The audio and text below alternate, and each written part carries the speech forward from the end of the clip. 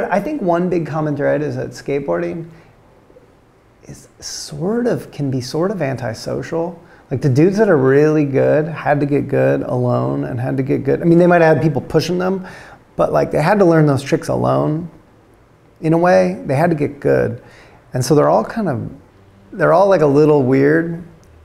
And you wouldn't know this from the outside, but you definitely hang out with some people you know, like a pro skater that's like got money and a car and a house and they're doing awesome, and then they go try to like hit on a girl that works at like the restaurant, and they're like, uh, hey, uh, and you know what I mean? And you're like, what the hell?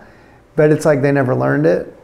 They never learned how to do that. So I feel like there's a common thread of like antisocial like weirdness, and it comes out differently in everyone. Like Cardiel's different than Heath. It's different than Dressen. It's different than you know I don't know, like Koston or Tony Hawk or any of Gonz. Like Gonz is like skating's got to be his number one thing.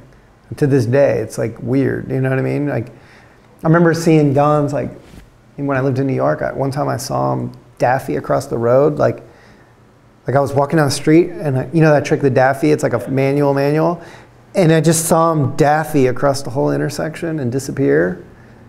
And one time back when I was like went to parties and bars and stuff. I was going to like the cool bar or whatever, and it was like two in the morning in New York, you know, like. And I saw him pushing Mongo, smoking a cigar, skating down the street. This was like two in the morning in some weird neighborhood. I was like, "Where are you going?" And he's like, "I'm going to Battery Park to go skate." And I was just like, "That's why." And I was going to meet a bunch of like pros, you know, and shit. And I was like, "Damn, like that dude. No wonder he's like his age and and was the best 20 years ago and is still like in a lot of ways one of the best now. Because he's just like skating like being cool and being awesome and but i just love seeing like those people that like skating's their number one thing. And i think that that's yeah it's a bunch of weirdos that are like the best